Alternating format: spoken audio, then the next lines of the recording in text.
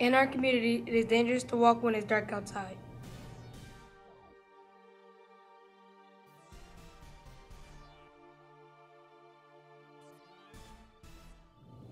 Our neighborhood is plagued by violence and gang activity.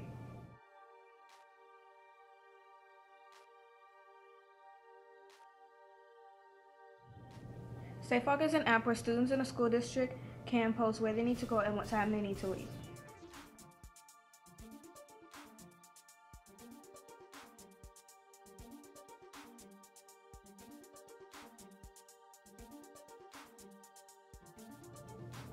Then one or more students in the district can respond and they could walk home safely in a group.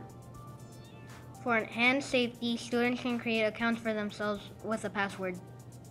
That way, no one gets in except for you or your parent or guardian if you tell them. With this, we hope to improve our school district by making it safer for kids.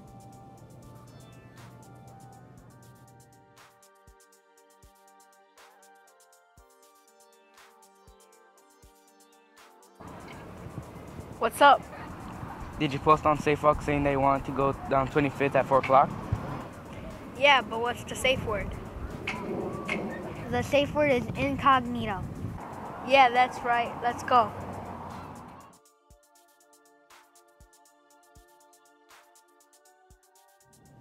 Hi, my name is Melissa, and I'm here to talk to you about an app that my team designed SafeWalk, the app when you're in need of a walking buddy.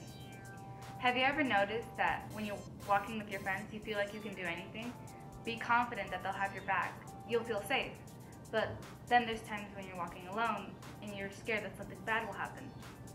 Our community is plagued by violence and gangs. These are dangerous people who might try to hurt a person walking alone. In SafeWalk, I will post where I need to go and when I need to go there. I then wait for responses. Once someone has responded, SafeWalk will generate a safe word so that I know that was the person I was talking to. Then we will walk to the location together safely. So if you're worried for your safety, SafeWalk is the app you need.